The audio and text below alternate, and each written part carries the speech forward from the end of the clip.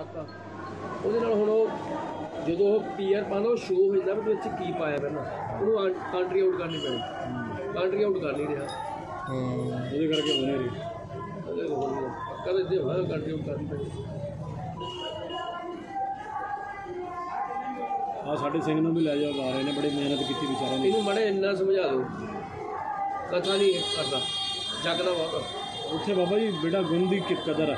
ਅਸੀਂ ਰੋਟੀ ਖਾਈ ਜਾਂਦੇ ਸਾਡੇ ਬਜ਼ੁਰਗਾਂ ਤੋਂ ਸ਼- ਸ਼ਸਤਰ ਦੇ ਗੁਣ ਸਿੱਖ ਲਿਆ। ਸਹੀ ਗੱਲ ਹੈ। ਤੇ ਉਹਦੇ ਤੋਂ ਜੇ ਤੁਸੀਂ ਸ਼ਸਤਰ ਦਾ ਗੁਣ ਲੈਂਦੇ ਸੀ ਅੱਜ ਤਾਂ ਮੌਜ ਕਰਦੇ ਸਹੀ ਗੱਲ ਕਰ ਪੰਜਾਬ ਹੀ। ਜਿੱਦਨ ਨਿਗਾਹ ਹੈਗੀ ਤੂੰ ਪੰਜਾਬ ਹੀ ਦੇ ਦੇਣੇ ਸੀ। ਸਹੀ ਗੱਲ ਹੈ ਸਹੀ ਗੱਲ ਤੇ ਹੈ ਬਾਬਾ ਜੀ ਜਿਹੜਾ ਕਹਿ ਰਹੇ ਨਾ ਇੱਕੋ ਕਥਾ ਉਹ ਨਹੀਂ ਆ।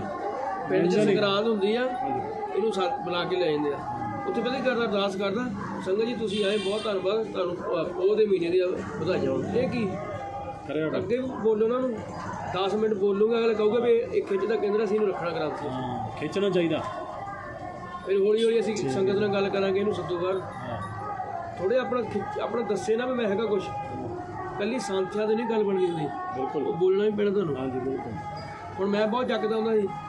ਤਿੰਨ ਸਾਲਾਂ 'ਚ ਮੈਂ ਪਹਿਲੀ ਵਾਰ ਅਰਦਾਸ ਕੀਤੀ ਆਪਣੇ ਪਿਤਾ ਜੀ ਬਸ ਜੀ ਉਦੋਂ ਮੈਂ ਅਰਦਾਸ ਕਰ ਨਹੀਂ ਰਿਹਾ ਸੀ ਪਰ ਮੈਂ ਜੱਕਦਾ ਹੀ ਸੰਗਤ ਨੇ ਮੈਨੂੰ ਡਾਲਾ ਸੀ ਤੇ ਮੈਂ ਬਾਹਰੋਂ ਆਇਆ ਤੇ ਕੋਲ ਸ਼ਬਦ ਗਲਤ ਨਾ ਬੋਲਿਆ ਹੁਣ ਮਾਰੇ ਦੋ ਵਾਰੀ ਵੱਡੀ ਅਰਦਾਸ ਕਰ ਦਿੱਤੀ ਉਸ ਸੰਗਤ ਦੇ ਵਿੱਚ। ਹੁਣ ਮੇਰੀ ਜੱਗ ਖੁੱਲ ਗਈ। ਕਹਿੰਦੇ ਮੈਂ ਸਪੀਕਰ ਫੜ ਕੇ ਬੋਲਿਆ ਨਹੀਂ। ਹੁਣ ਮੈਂ ਬੋਲਦਾ ਵੀ ਸਪੀਕਰ। ਇਹ ਜੱਗੇ ਨਹੀਂ ਖੋਰੇ ਐਡਾ ਗਿਆਨੀ ਟਾਲਾ ਹੋ ਕੇ। ਗਿਆਨੀ ਤਕੜਾ ਵਾ ਬਹੁਤ ਇਹਨੇ ਮਿਹਨਤ ਕੀਤੀ ਇੱਥੇ ਦੱਖਣ ਦੱਖਣ ਚ ਸਹੀ ਬਾਬੇ ਦੀ ਬੜੀ ਸੇਵਾ ਫਿਰ ਕੀਤੀ। ਜਦੋਂ 10 ਮਿੰਟ ਉੱਥੇ ਹੁਕਮਨਾਮਾ ਲੈਣਾ ਫਿਰ ਮੈਨੂੰ ਦੱਸਣਾ ਬਾਬਾ ਜੀ ਦੇ ਅਰਥ ਵਾ।